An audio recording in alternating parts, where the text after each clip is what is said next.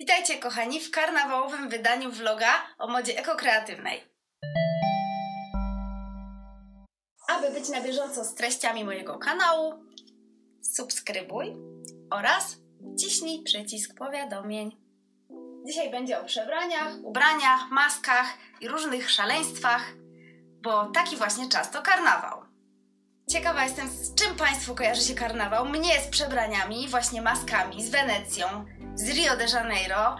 Pokażę dzisiaj Państwu kilka ciekawych przebrań, zarówno dla dorosłych, jak i dla dzieci. Zarówno na normalne zabawy i takie dyskoteki, jak i na prawdziwe bale przebierańców, prawdziwe bale karnawałowe. Tradycyjnie karnawał to był taki czas, kiedy każdy mógł pozwolić sobie na troszeczkę odpału, szaleństwa. Nawet najbardziej nobliwi, nawet najbardziej tradycyjni obywatele zawsze mogli wtedy poszaleć. Drodzy Państwo, karnawał tradycyjnie zawsze był wspaniałym, radosnym czasem, w którym wszyscy się bawili, hulanki, swawole i tak dalej. Przede wszystkim jednak dawniej była to taka, można powiedzieć, giełda małżeńska. Panny i kawalerowie szukali swoich partnerów życiowych. Oczywiście kryteria były wtedy troszeczkę inne, prócz urody liczyły się pieniążki, także warto było wtedy się troszkę postarać, przebrać i zrobić wrażenie na przyszłym małżonku lub małżonce. Czemu bardzo sprzyjały przebrania, maski i całe to szaleństwo? Łatwo możemy sobie wyobrazić, że w czasach, kiedy trzeba było być bardzo, bardzo porządnym, bardzo dobrze wychowanym, e, trzymać się wszystkich norm społecznych. Taki czas był po prostu darem z nieba i był specjalnie przewidziany na to, żebyśmy za pomocą stroju i kokieterii mogli zdobyć sobie partnera życiowego. Właśnie przebrania i maseczki karnawałowe służyły do tego, żeby całą tą sytuację podkręcić, dodać troszeczkę pikanterii, bo nigdy nie wiadomo, kto mógł kryć się za maską. W dzisiejszych czasach karnawał również może nam służyć do takiego właśnie puszczenia wodzy fantazji i wyluzowania się. Możemy troszeczkę powrócić do dzieciństwa i przypomnieć sobie, jak to było fajnie udawać kogoś innego, zmienić się w całkowicie inną osobę lub postać. Na początek więc pokażę stylizację na takie normalne prywatki, które możemy włożyć do znajomych, na jakąś też większą imprezę, ale nie będą to jakieś bardzo specyficzne kostiumy.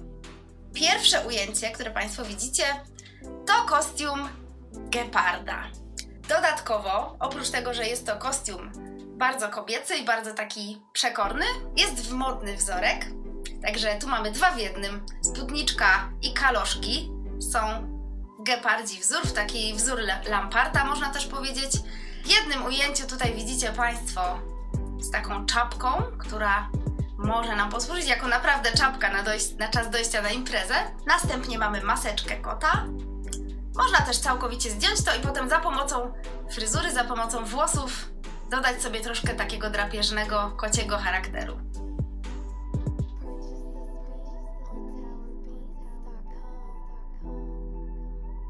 Teraz nieco bardziej nowoczesna stylizacja. Tutaj jestem przebrana za DJ-kę. W zasadzie jest to mój prawdziwy kostium, gdyż czasem występuję w roli DJ-a.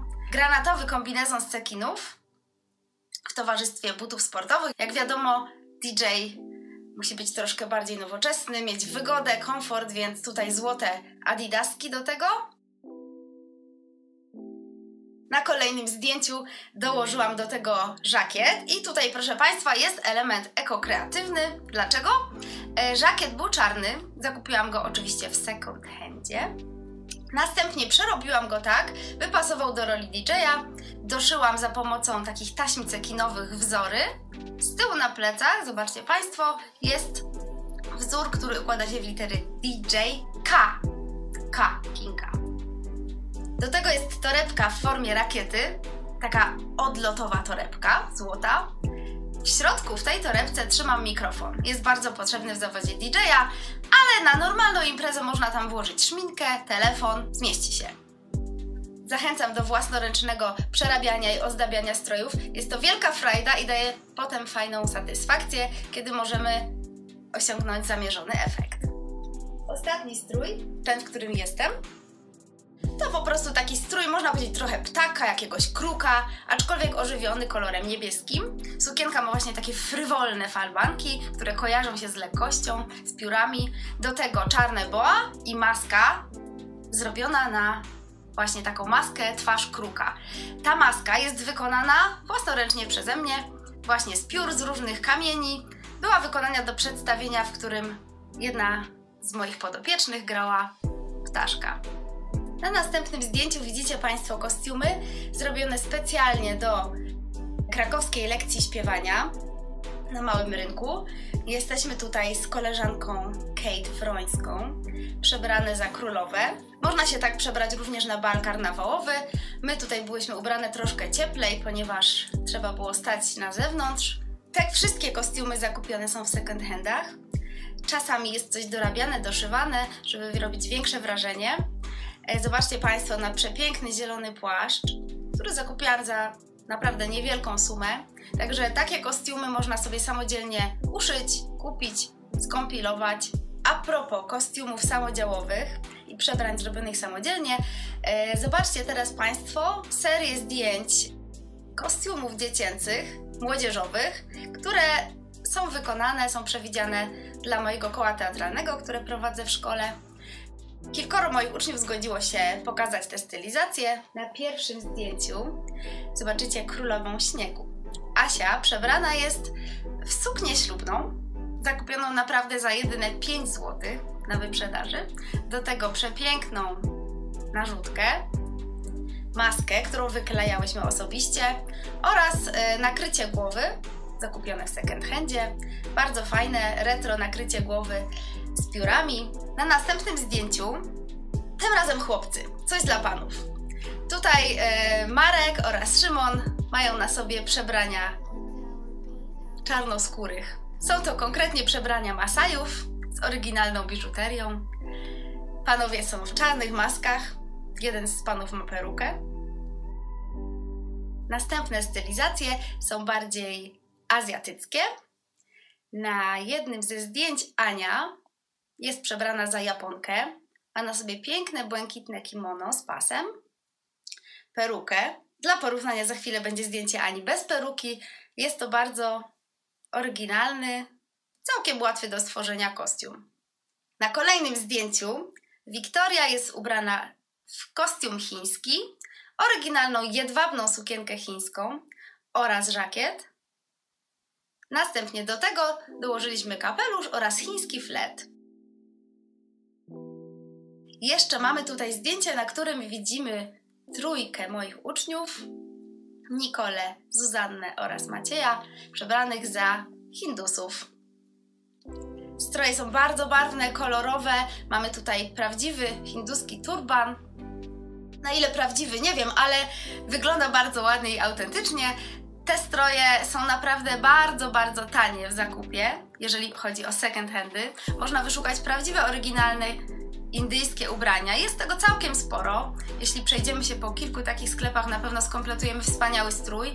Można kupić prawdziwe, oryginalne sari induskie. Yy, takie przebranie będzie nie tylko robiło wrażenie, ale będzie całkiem tanim kosztem osiągnięte.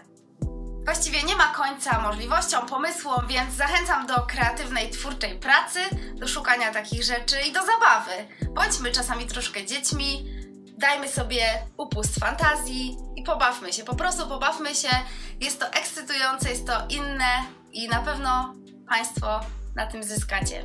Życzę wspaniałej przygody z poszukiwaniem, tworzeniem i noszeniem kostiumów karnawałowych, wspaniałego karnawału, świetnej zabawy, dobrego humoru przede wszystkim. Póki jeszcze mamy zimę, będziemy mówić o zimie, więc w następnym odcinku będzie mowa o strojach narciarskich i ogólnie strojach do sportów zimowych. Dziękuję bardzo za oglądanie mojego kanału, za komentowanie. Zachęcam do dawania łapek w górę. Proszę też o subskrypcję oraz udostępnienia. Oczywiście pozdrawiam wszystkich Folkan, karnawałowo. Pozdrowienia również dla moich uczniów, szczególnie dla uczniów z klasy 8, 7, 5 oraz dla całego koła teatralnego.